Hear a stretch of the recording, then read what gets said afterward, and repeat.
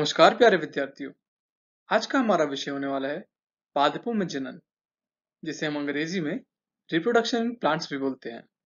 जैसा कि हम सभी जानते हैं कि किसी जीव का अपनी संतान को जन्म देना जनन कहलाता है।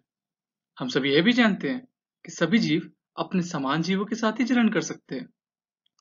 लेकिन हमारे पेड़ पौधे यानी पादप उनका क्या? उनमें किस प्रकार जनन होता है? पादपों में मुख्य रूप से दो प्रकार से जनन होता है।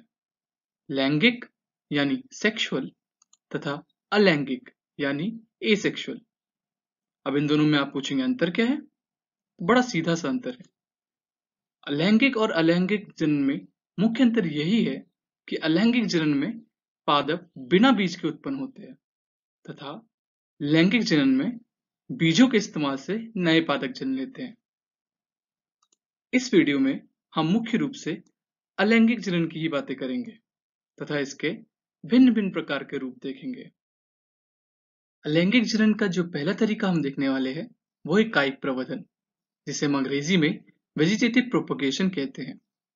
यह तरीका पादपों में काफ़ी आम है, तथा आपने अपनी रोज़मर्रा की ज़िंदगी में इसे ज़रूर देखा होगा। उदाहरण के रूप में गुलाब की कलम को ही ले लीजिए। क्या आप जानते हैं कि अगर गुलाब की कलम को काट कर ज़मीन में गाड़ दिया जाए तो उससे पूरा नया पौधा भी जन्म ले सकता है? ये कायिक प्रवर्धन का ही एक उदाहरण है, तथा इसे बगीचों में काफ़ी इस्तेमाल किया जाता है। उसी प्रकार, आलू की आँख, और आँख से मेरा तात्पर्य है, ये गड्ढे। इन्हें आलू की आँख कहते हैं। उसी प्रकार, आलू की आँख जो है, उसको भी अगर सही परिस्थितियाँ मिले तो वो भी अंकुरित होकर नए पौधों को जन्म ले सकती है। वैसे ही कुछ पत्ते, जैसे ये जो पत्ता आप देख रहे हैं, ये ब्रायोफाइटा नाम के पादप का है। ब्रायोफाइटा के पत्तों से ही नए पादपों को जन्म दिया जा सकता है।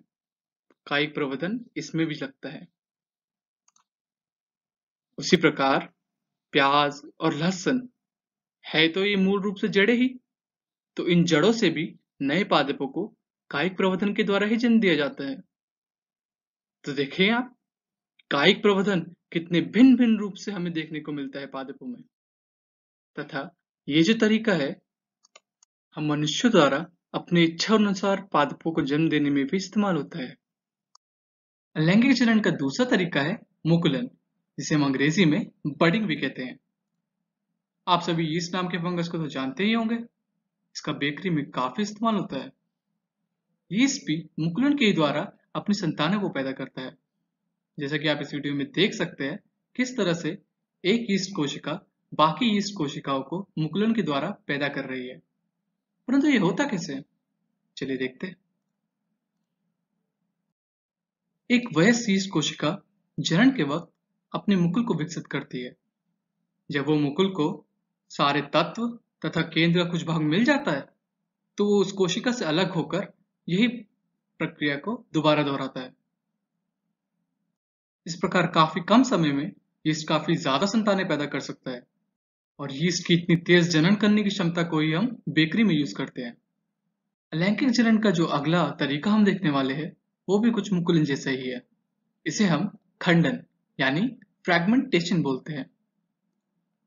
शायद आप में से कुछ को पता हो कि स्टारफेक नामक जो मछली होती है, उसका अगर एक फन काटते तो उससे एक पूरी नई स्टारफिश जन्म ले लेती है। परंतु क्या आपको पता है कि ऐसा ही कुछ पेड़ पौधों में भी हो सकता है? एक अलगी, जिसका नाम है स्पाइरोगायरा, वो भी कुछ इसी तरह से खंडन से अपने नए संतानों को पैदा करती है। अलैंगिक जनन का जो हम आखिरी तरीका देखने वाले हैं, वो है बीजाणु निर्माण, जिसे अंग्रेज़ी में स्पोर फॉर्मेशन के नाम से जाना जाता है। शायद आपने देखा हो कि कुछ घासें, जैसे कि मॉस और फर्न, अपने अंदर कुछ कण समेटे बैठी होती है, तथा फूक मारने पर या झटका देने पर ये हवा से भी हल्के रुई जैसे कण हवा में बिखर जाते हैं इधर उधर। इन्हीं कणों को हम बीजाणु कहते हैं। अब देखा जाए तो बीजाणु भी बीज की भांति है, परंतु काफ़ी सूक्ष्म है। एक बीज की भांति अगर इन्हें ज़मीन में गिरा दिया जाए तथा सही परिस्थितियाँ मिले तो ये एक नए पौधे को जन्म देती है। परंतु चूँकि बीजाणु इतने हल्के होते हैं, इसलिए हवा में इधर उधर बिखरते रहते हैं। इससे इनके अंदर के जीवन के नष्ट होने की संभावना बनी रहती है। लेकिन प्रकृति ने भी इन्हें बचाने का तरीका ढूंढ ही लिया है। ये जो चित्र आप देख रहे हैं, ये एक बीजाणु का चित्र है।